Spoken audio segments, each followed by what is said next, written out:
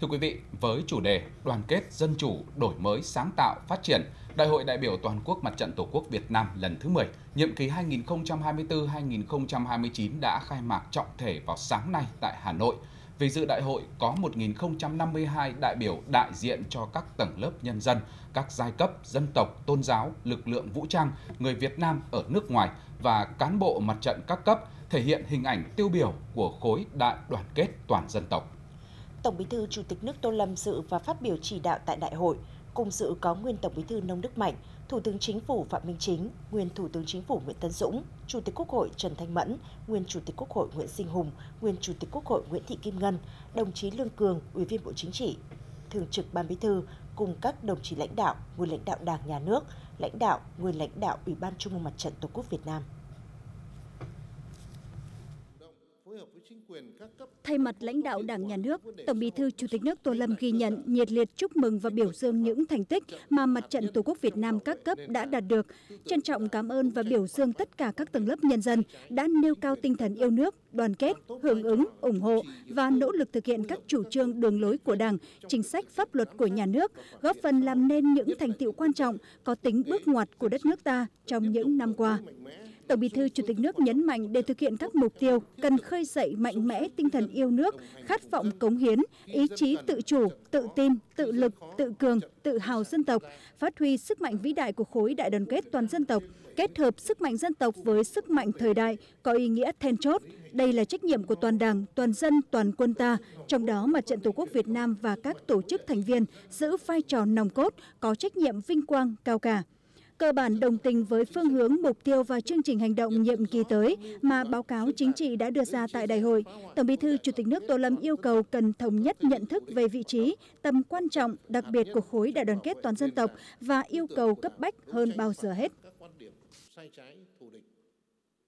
Ưu tiên hàng đầu, củng cố, phát huy khối đại đoàn kết toàn dân tộc dưới sự lãnh đạo của đảng.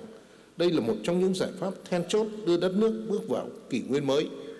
Mặt trận cần làm tốt vai trò nòng cốt, chủ trì, phối hợp với các tổ chức thành viên, đoàn kết các giai tầng, các cá nhân tiêu biểu làm tốt hơn nữa công tác tuyên truyền, giáo dục vận động để nhân dân hiểu, đồng lòng, đồng tâm thực hiện đường lối chủ trương của Đảng, chính sách pháp luật của nhà nước, nhận thức rõ âm mưu thủ đoạn xuyên tạc, gây chia rẽ, phá hoại khối đại đoàn kết toàn dân tộc của các thế lực thù địch phản động. Mặt trận phải là hạt nhân trong bảo vệ nền tảng tư tưởng của Đảng, đấu tranh phản bác các quan điểm sai trái, thù địch. Tổng Bí thư Chủ tịch nước Tô Lâm chỉ rõ, Mặt trận Tổ quốc Việt Nam và các tổ chức thành viên cần chăm lo bảo vệ lợi ích thiết thực, chính đáng, hợp pháp của nhân dân. Mục tiêu cao nhất là phục vụ nhân dân, làm cho cuộc sống của nhân dân tốt đẹp hơn. Chủ động phối hợp với chính quyền các cấp giải quyết có hiệu quả những vấn đề xã hội bức xúc ngay tại cơ sở, tích cực tập hợp lắng nghe ý kiến của nhân dân, thật sự trở thành chỗ dựa tin cậy, tiếng lòng của nhân dân để phản ánh với cấp ủy, chính quyền các cấp, làm tốt vai trò chủ trì hiệp thương, phối hợp với các tổ chức thành viên trong việc thực hiện giám sát và phản biện xã hội, nhất là những vấn đề quốc kế, dân sinh, là tiếp tục đổi mới mạnh mẽ nội dung phương thức hoạt động của mặt trận tổ quốc theo hướng thiết thực, sâu sát với dân, đồng hành cùng dân. Khi dân cần, mặt trận có khi dân khó mặt trận sẵn sàng tham gia trong giai đoạn cách mạng mới, Tổng Bí thư Chủ tịch nước Tô Lâm nhấn mạnh, mỗi cấp ủy, chính quyền, cán bộ, đảng viên phải tiếp tục thấm nhuần sâu sắc về vị trí, ý nghĩa, tầm quan trọng của đoàn kết toàn dân tộc và công tác mặt trận, quan tâm lãnh đạo chỉ đạo và phối hợp chặt chẽ, thường xuyên hơn nữa với mặt trận, chân thành, cầu thị, lắng nghe, tận tâm, tận lực giải quyết công việc của dân. Với tinh thần đoàn kết, quyết tâm cao của đại hội, Tổng Bí thư Chủ tịch nước Tô Lâm tin tưởng Mặt trận Tổ quốc Việt Nam các cấp sẽ tiếp tục đổi mới, chủ động sáng tạo, tập hợp đông đảo, bền chặt các tầng lớp nhân dân, cùng chung sức đồng lòng, phát huy truyền thống yêu nước, bản lĩnh và sức mạnh con người Việt Nam, quyết tâm vượt qua mọi khó khăn, thách thức, tranh thủ thời cơ, vận hội mới, tự chủ, tự hào, vững tin bước vào kỷ nguyên mới, kỷ nguyên vươn mình của dân tộc Việt Nam, tất cả vì mục tiêu dân giàu, nước mạnh, dân chủ, công bằng, văn minh. Thưa quý vị, từ đầu năm đến nay, các địa phương trên địa bàn tỉnh Thanh Hóa đã vận động được hơn 160 tỷ đồng hỗ trợ xây dựng nhà ở cho hộ nghèo, hộ cận nghèo, hộ còn khó khăn về nhà ở, hướng tới mục tiêu chung tay vì người nghèo, không để ai bị bỏ lại phía sau. ghi nhận tại huyện Thiệu Hóa. Hai vợ chồng ông bà Trịnh Thị Bút tuổi đã gần 80 ở xã Thiệu Công, huyện Thiệu Hóa, tỉnh Thanh Hóa. Trước đây sống trong căn nhà cấp 4 ẩm thấp, rột nát. Nhờ cuộc vận động đóng góp hỗ trợ của cán bộ nhân dân trong xã và con em địa phương xa quê hương, nay ông bà đã có ngôi nhà mới kiên cố để yên tâm vui sống tuổi già. Đảng và nhà nước thì cũng quan tâm đến ông bà à, hỗ trợ cho ông bà một số tiền là 80 triệu. Là tiền mặt là 60 triệu còn là 20 triệu vô tiền chi. Trước ở cái nhà để dập nát mưa gió sợ lắm. Từ nay đến cuối năm 2024 thì theo kế hoạch của huyện giao chúng tôi tiếp tục đào hai hộ nữa. Tức là nhiệm vụ năm 24 và năm 25 và số còn lại thì sang năm 25 chúng tôi sẽ tập trung làm đảm bảo 100%. Để bảo đảm tính chính xác, chính quyền các xã thị trấn tại huyện Thiệu Hóa đã niêm yết công khai danh sách các hộ nghèo, hộ cận nghèo, hộ còn hoàn cảnh khó khăn về nhà ở, đồng thời tuyên truyền rộng rãi về cuộc vận động chung tay hỗ trợ nhà ở cho các gia đình khó khăn, qua đó tạo được sự đồng cảm và lan tỏa trong các tầng lớp nhân dân. Nhiều hộ trước đây ở trong những cái căn nhà ờ, tạm bỡ, hư hỏng, sập sệ, rồi là mất an toàn, thì nay đã xây được dựng được nhà mới khang trang vững chắc và an toàn hơn, ổn định cuộc sống an cư lạc nghiệp. Và đây cũng là một trong những cái yếu tố mà huyện Thiệu Hóa làm để mà giảm nghèo nhanh và bền vững. Từ tháng 5 đến nay, huyện Thiệu Hóa đã vận động được hơn 4,3 tỷ đồng hỗ trợ xây dựng nhà ở cho các hộ có hoàn cảnh khó khăn, với 53 hộ đăng ký xây dựng trong năm 2024. Hiện đã có 48 hộ khởi công và đang làm nhà, đạt 87,3% kế hoạch năm. Trong đó 34 hộ đã nhận kinh phí hỗ trợ với tổng số tiền 2,66 tỷ đồng.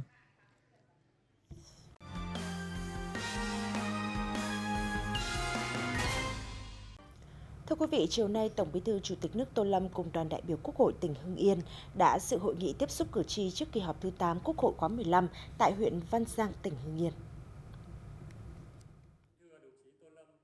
Cử tri tỉnh Hưng Yên bày tỏ sự tin tưởng, ủng hộ và đánh giá cao kết quả phòng chống tham nhũng tiêu cực của Đảng và Nhà nước ta thời gian qua, đồng thời đề nghị thời gian tới, Đảng, Nhà nước tiếp tục có chính sách hiệu quả hơn để giải quyết vấn nạn này. Bên cạnh đó, cử tri quan tâm đến chính sách phát triển làng nghề, chính sách cho giáo viên khi hợp nhất trường liên cấp, chính sách cán bộ cấp ủy tại xã. Thông báo tình hình chung của đất nước 9 tháng đầu năm 2024 đến cử tri, Tổng Bí thư Chủ tịch nước Tô Lâm cho biết, đất nước đang duy trì tốc độ phát triển kinh tế xã hội cao với nhiều chỉ tiêu hoàn thành và vượt kế hoạch đề ra. Vị thế Việt Nam ngày càng được củng cố trên trường quốc tế, tạo tiền đề rất tốt cho năm 2025, hướng đến 100 năm Việt Nam dưới sự lãnh đạo của Đảng và 100 năm ngày thành lập nước. Tổng Bí thư Chủ tịch nước chia sẻ thêm, 40 năm sau khi đất nước đổi mới, chúng ta đã có những thành tựu phát triển vĩ đại, đời sống người dân ngày một nâng cao, công tác an sinh xã hội của người dân rất được quan tâm. Với những kết quả phát triển thời gian qua của tỉnh Hưng Yên nói chung và huyện Văn Giang nói riêng, Tổng Bí thư Chủ tịch nước đề nghị địa phương tận dụng các điều kiện ưu thế hiện có để phát triển, trong đó cố gắng hoàn thành mức cao nhất của nông thôn mới để bước vào đô thị hóa. Tổng Bí thư Chủ tịch nước trân trọng cảm ơn và trả lời một cách chân thành các ý kiến của cử tri gửi đến hội nghị. Đối với ý kiến của cử tri về phòng chống tham nhũng, Tổng Bí thư Chủ tịch nước khẳng định vấn đề này sẽ tiếp tục được Đảng nhà nước quan tâm sát sao. Tuy nhiên đây không chỉ là việc của các cơ quan liên quan mà từng đảng viên, từng tri bộ, mọi người dân phải coi đó là trách nhiệm của mình, phải kiểm điểm định kỳ thường xuyên, tự soi tự sửa, nâng cao vai trò giám sát của cử tri và nhân dân tập trung xử lý dứt điểm các khâu còn yếu, các hạn chế khó khăn vướng mắc, đẩy mạnh xây dựng và hoàn thiện thể chế phòng chống tham nhũng tiêu cực. Nhân dịp này, Tổng Bí thư Chủ tịch nước Tô Lâm đã tặng 50 bộ máy tính cho huyện Văn Giang, tỉnh Hưng Yên, thăm và trao quà cho hai gia đình chính sách. Thưa quý vị, nhân dịp kỷ niệm 94 năm thành lập Hội Liên hiệp Phụ nữ Việt Nam, Ngày Phụ nữ Việt Nam 20 tháng 10 và kỷ niệm 12 năm ngày thành lập Học viện Phụ nữ Việt Nam, ngày 17 tháng 10, Học viện Phụ nữ Việt Nam vinh danh đón vinh dự đón Thủ tướng Chính phủ Phạm Minh Chính đến thăm và gặp mặt cán bộ Liên hiệp Phụ nữ Việt Nam, giảng viên sinh viên học viện. Với hành trang mang trong mình truyền thống tốt đẹp vẻ vang từ ngàn đời nay, phụ nữ Việt Nam hôm nay luôn đoàn kết, năng động, sáng tạo, soi việc nước, đảm việc nhà, vừa là hậu phương vững chắc, chăm lo cuộc sống của từng gia đình, vừa thúc đẩy sự phát triển của cộng đồng và xã hội, vừa tích cực tham gia xây dựng, bảo vệ, phát triển đất nước nhanh và bền vững ở bất cứ nơi đâu, trong bất cứ ngành nghề, lĩnh vực nào của đất nước, đều có sự hiện diện và vai trò to lớn, đóng góp bền bỉ, không mệt mỏi của chị em phụ nữ. Góp phần ngày càng tô thắm thêm truyền thống tốt đẹp của phụ nữ Việt Nam, đặc biệt các chính sách về bình đẳng giới và vì sự phát triển của phụ nữ thời gian qua đã tạo môi trường để phụ nữ ngày càng khẳng định vị thế và có nhiều cơ hội đóng góp cho xã hội nhận thức về vai trò, vị trí của phụ nữ, về công tác phụ nữ và bình đẳng giới, chuyển biến tích cực và đạt được những kết quả quan trọng được liên hợp quốc và cộng đồng quốc tế ghi nhận đánh giá cao thăm gặp gỡ trò chuyện với tập thể lãnh đạo cán bộ, thầy giáo, cô giáo, sinh viên học viện phụ nữ việt nam, thủ tướng chính phủ phạm minh chính đánh giá cao về quy mô bồi dưỡng, ứng dụng công nghệ thông tin và chuyển đổi số vào công tác bồi dưỡng cán bộ cũng như giáo dục đại học. Học viện đã xây dựng và quyết tâm theo đuổi triết lý, giáo dục toàn diện, chất lượng và bình đẳng, mang bản sắc và giá trị nhân văn cao, phát huy vai trò ngày càng quan trọng trong nâng cao nhận thức về bình đẳng giới, cũng như đào tạo nguồn nhân lực trình độ cao về các ngành giới và phát triển và công tác xã hội. Thủ tướng nêu rõ bước vào kỷ nguyên mới kỷ nguyên vươn mình của dân tộc Thủ tướng đề nghị Hội Liên hiệp Phụ nữ Việt Nam tiếp tục triển khai nghị quyết Đại hội 13 của Đảng và các nghị quyết, kết luận, chỉ thị của Trung ương Đảng, Bộ Chính trị, Ban Bí thư, trong đó có các chỉ thị số 05, 06, số 21 của Bộ Chính trị về công tác xây dựng gia đình, công tác giảm nghèo bền vững, công tác phụ nữ trong tình hình mới. Các cấp hội phụ nữ tăng cường tính chủ động, sáng tạo, tiếp tục thực hiện hiệu quả ba nhiệm vụ trọng tâm và bốn nhóm giải pháp đã được đề ra trong nghị quyết Đại hội Phụ nữ nhiệm kỳ 2022-2027 và quan tâm sát sao chỉ đạo hỗ trợ Học viện Phụ nữ Việt Nam thực hiện tốt sứ mệnh, thực hiện thành công các mục tiêu phát triển đến năm 2030 và tầm nhìn đến năm 2045 đã đề ra.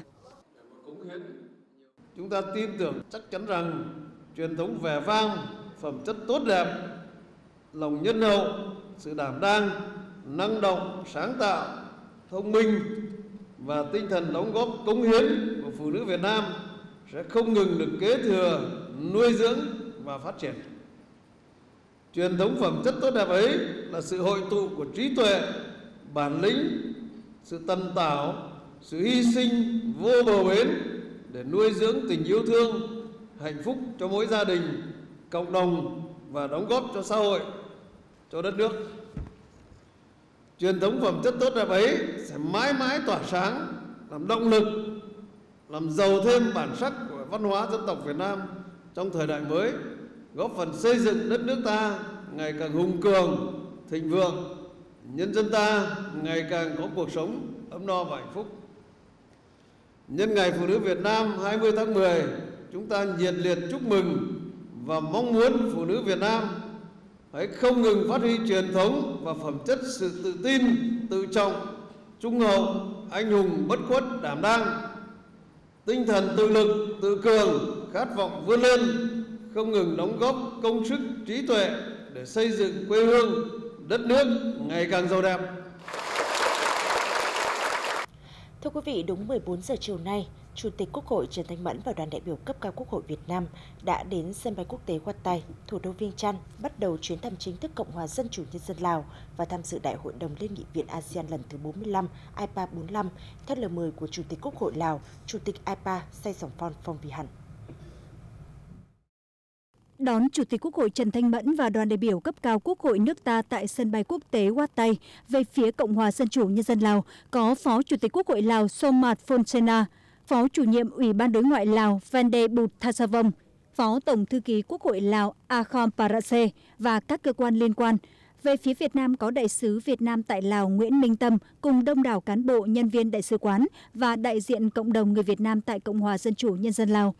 Đây là chuyến thăm chính thức Cộng hòa Dân chủ Nhân dân Lào đầu tiên trên cương vị Chủ tịch Quốc hội của đồng chí Trần Thanh Mẫn, có tầm quan trọng và ý nghĩa đặc biệt quan trọng đối với mối quan hệ hữu nghị vĩ đại, đoàn kết đặc biệt và hợp tác toàn diện Việt Nam-Lào. Ngay sau khi đến thủ đô Viên Trăn, tại nhà Quốc hội Lào, Chủ tịch Quốc hội Lào Sê Sỏm Phong Vi Hẳn đã chủ trì lễ đón chính thức Chủ tịch Quốc hội Trần Thanh Mẫn và đoàn đại biểu cấp cao Quốc hội Việt Nam sang thăm chính thức Cộng hòa Dân chủ Nhân dân Lào. Tiếp đó, Chủ tịch Quốc hội Trần Thanh Mẫn và Chủ tịch Quốc hội Lào đã tiến hành hội đàm. Trong khuôn khổ chuyến thăm, Chủ tịch Quốc hội Trần Thanh Mẫn sẽ chào xã giao Tổng bí thư Chủ tịch nước Thông Luân Sĩ Lít, hội kiến Thủ tướng Xuân Nể Say Sĩ Phan Đòn và nhiều hoạt động gặp gỡ tiếp xúc quan trọng khác.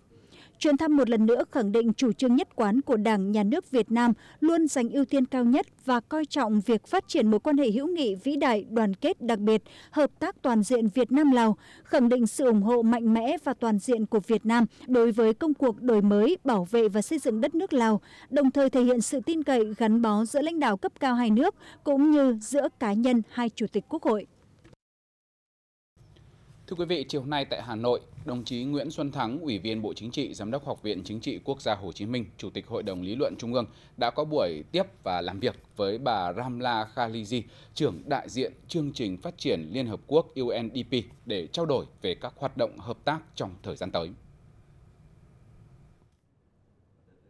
Học viện Chính trị Quốc gia Hồ Chí Minh mong muốn phối hợp, củng cố hơn nữa quan hệ đối tác giữa hai bên để hỗ trợ các mục tiêu phát triển bền vững của Việt Nam tới năm 2030 và xa hơn nữa trong kỷ nguyên vươn mình. Đồng thời, tăng cường khả năng phối hợp giữa UNDP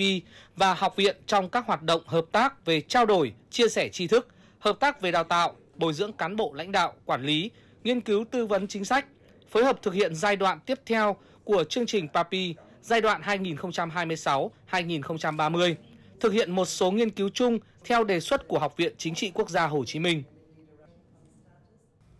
Thưa quý vị, sáng nay tại Cà Mau, Phó Thủ tướng Trần Hồng Hà cùng đoàn công tác của chính phủ đã làm việc với một số tỉnh về công tác chống khai thác thủy sản bất hợp pháp, không báo cáo và không theo quy định IUU.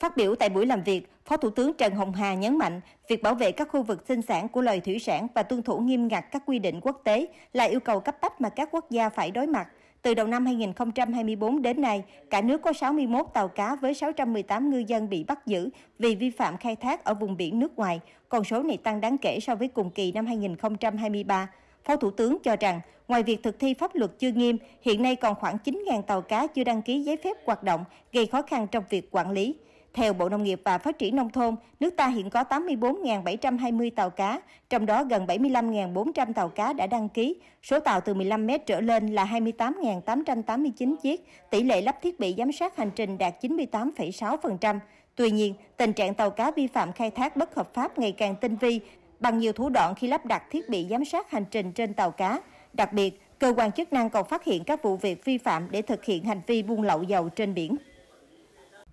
Chiều nay, tại Phủ Chủ tịch, Phó Chủ tịch nước Võ Thị Ánh Xuân đã gặp mặt thân mật đoàn đại biểu dân tộc thiểu số tiêu biểu tỉnh Hà Giang. Buổi gặp mặt là sự ghi nhận của Đảng và Nhà nước đối với việc thực hiện nhiệm vụ chính trị của các đồng bào dân tộc thiểu số tỉnh Hà Giang. Vui mừng và xúc động gặp mặt đoàn đại biểu dân tộc thiểu số tiêu biểu tỉnh Hà Giang về thủ đô viếng lăng báo công dân bắc Phó Chủ tịch Võ Thị Ánh Xuân chúc mừng tỉnh Hà Giang đã tổ chức thành công Đại hội đại biểu các dân tộc thiểu số tỉnh Hà Giang lần thứ tư năm 2024, biểu dương thành tích mà Đảng bộ, chính quyền nhân dân tỉnh đạt được trong thời gian qua, nhất là việc giảm tỷ lệ hộ nghèo đạt gần 6%, thu nhập bình quân đầu người năm 2024 đạt 40,2 triệu đồng, tăng 34,9% so với năm 2020. Chất lượng giáo dục, y tế chăm sóc sức khỏe nhân dân ngày càng cải thiện tích cực nêu rõ Đảng ta luôn xác định vấn đề dân tộc, công tác dân tộc và đoàn kết các dân tộc có vị trí chiến lược quan trọng trong cách mạng nước ta. Đất nước đang đứng trước thời cơ để bước vào kỷ nguyên mới, kỷ nguyên vươn mình của dân tộc Việt Nam. Bối cảnh và yêu cầu đó đòi hỏi sự nỗ lực của toàn đảng, toàn quân và toàn dân, trong đó có vai trò vô cùng quan trọng của đồng bào các dân tộc thiểu số trong cả nước, Phó Chủ tịch nước Võ Thị Ánh Xuân yêu cầu Ủy ban dân tộc tiếp tục phát huy vai trò nòng cốt trong tham mưu xây dựng, hoàn thiện và triển khai thực hiện có hiệu quả các chủ trương chính sách theo hướng ưu tiên phát triển toàn diện, nhanh, bền vững vùng đồng bào dân tộc thiểu số và miền núi. Đề nghị tỉnh Hà Giang tiếp tục củng cố duy trì vững chắc khối đại đoàn kết dân tộc, chăm lo phát triển kinh tế xã hội theo hướng bền vững, đồng bào dân tộc thiểu số, phát huy nội lực tiềm năng sẵn có, tranh thủ thời cơ nguồn lực phát triển địa phương, thoát ra khỏi danh sách tỉnh nghèo, trở thành địa phương phát triển khá của đất nước.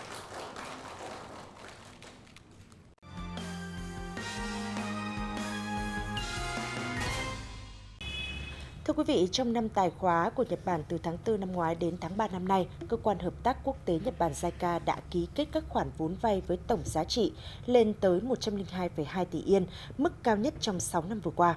Số liệu vừa được đưa ra tại buổi họp báo giữa kỳ của JICA đã phần nào thể hiện được nỗ lực của Nhật Bản trong hỗ trợ phát triển kinh tế của Việt Nam. Trong năm tài khóa của Nhật Bản từ tháng 4 năm ngoái đến tháng 3 năm nay, Việt Nam là nước đứng đầu trong số các nước mà JICA đang triển khai hợp tác với việc cử 45 tình nguyện viên hợp tác hải ngoại Nhật Bản, 36 dự án đầu tư kinh doanh của doanh nghiệp vừa và nhỏ Nhật Bản trong lĩnh vực phát triển bền vững, 24 dự án hợp tác kỹ thuật cấp cơ sở chương trình đối tác phát triển. Ngoài ra, Việt Nam là nước đứng thứ hai thế giới với 9 dự án thuộc chương trình tài trợ đầu tư cho khu vực tư nhân của JICA. Chia sẻ trong cuộc họp báo giữa kỳ tại Hà Nội, ông Sugano Yuichi, trưởng đại diện văn phòng JICA tại Việt Nam nhấn mạnh các số liệu cho thấy sự quan tâm lớn của người dân và doanh nghiệp Nhật Bản tới Việt Nam. Một quốc gia liên tục duy trì tăng trưởng ổn định và bền vững. Về định hướng các dự án tại Việt Nam, đại diện JICA cho biết sẽ tiếp tục đầu tư vào ba trụ cột trọng điểm, bao gồm tăng trưởng chất lượng cao, hỗ trợ đối tượng dễ bị tổn thương và phát triển nguồn nhân lực. Đáng chú ý, các chuyên gia cũng chia sẻ kinh nghiệm về tận dụng dân số vàng. Theo đó, Việt Nam cần phải tập trung đầu tư phát triển ngành công nghiệp hỗ trợ hơn nữa để tận dụng được lợi thế về dân số hiện tại. Thưa quý vị, nhằm đánh giá tác động kinh tế của dự thảo thuế tiêu thụ đặc biệt đối với các mặt hàng đồ uống, nước giải khát có đường, sáng nay tại Hà Nội, Viện Nghiên cứu Quản lý Kinh tế Trung ương đã tổ chức hội thảo công bố báo cáo nghiên cứu đánh giá tác động kinh tế của dự thảo thuế tiêu thụ đặc biệt đối với nước giải khát có đường. Hiện Bộ Tài chính đang chủ trì xây dựng dự thảo luật thuế tiêu thụ đặc biệt sửa đổi với việc điều chỉnh một số nội dung, trong đó có chính sách được bổ sung là mở rộng cơ sở tính thuế. Chính sách mới quy định bổ sung nước giải khát có đường theo tiêu chuẩn Việt Nam có hàm lượng đường trên 5 g trên 100 ml vào đối tượng chịu thuế tiêu thụ đặc biệt. Đồng thời dự thảo đề xuất áp dụng mức thuế suất 10%. Theo ý kiến của các chuyên gia, việc áp thuế tiêu thụ đặc biệt như tại dự thảo luật chưa đảm bảo hiệu quả về điều tiết hành vi tiêu dùng, chưa đảm bảo nguyên tắc công bằng của chính sách thuế. Cơ quan soạn thảo cũng chưa có luận giải về cơ sở của việc đề xuất áp dụng thuế suất tiêu thụ đặc biệt 10% đối với nước giải khát có đường. Các chuyên gia đã cung cấp thêm các thông tin về những tác động đa chiều và toàn diện hơn của đề xuất nói trên và kiến nghị cơ quan soạn thảo cần tổ chức tham vấn rộng rãi đối với các đối tượng chịu tác động bởi chính sách, giải trình rõ ràng, minh bạch, công khai đối với các ý kiến góp ý. Thưa quý vị, nhằm góp phần đưa Việt Nam tham gia sâu hơn vào chuỗi cung ứng toàn cầu, triển lãm quốc tế về công nghiệp hỗ trợ và chế biến chế tạo Việt Nam với chủ đề Kết nối để phát triển đã được tổ chức vào sáng nay tại Hà Nội. Là sự kiện chuyên ngành duy nhất của Việt Nam thuộc chương trình phát triển công nghiệp hỗ trợ được Thủ tướng Chính phủ phê duyệt, triển lãm đã mở ra cơ hội cho doanh nghiệp công nghiệp hỗ trợ của Việt Nam gặp gỡ giới thiệu sản phẩm, mở rộng quan hệ hợp tác, đồng thời tiếp cận những phương tiện kỹ thuật cao, những thành tiệu công nghiệp hỗ trợ tiên tiến hàng đầu thế giới để nâng cao năng lực sản xuất mở rộng thị trường. Theo Bộ Công Thương, cả nước hiện đã có khoảng 5.000 doanh nghiệp chế biến tham gia cung cấp linh kiện phụ tùng cho nhóm ngành hàng ô tô cơ khí, trong đó 70% doanh nghiệp tham gia cung cấp cho các nhà sản xuất trong nước, 8% cung cấp cho nhà xuất khẩu và 17% tham gia cung cấp cho cả hai. Hôm nay, Tòa án Nhân dân Thành phố Hồ Chí Minh đã tuyên án các bị cáo trong vụ án sai phạm tại Vạn Thịnh Phát giai đoạn 2. Sau một tháng xét xử, Tòa án Nhân dân Thành phố Hồ Chí Minh đã tuyên án bị cáo Trương Mỹ Lan và 33 đồng phạm đối với những sai phạm xảy ra tại vụ án Vạn Thịnh Phát giai đoạn 2.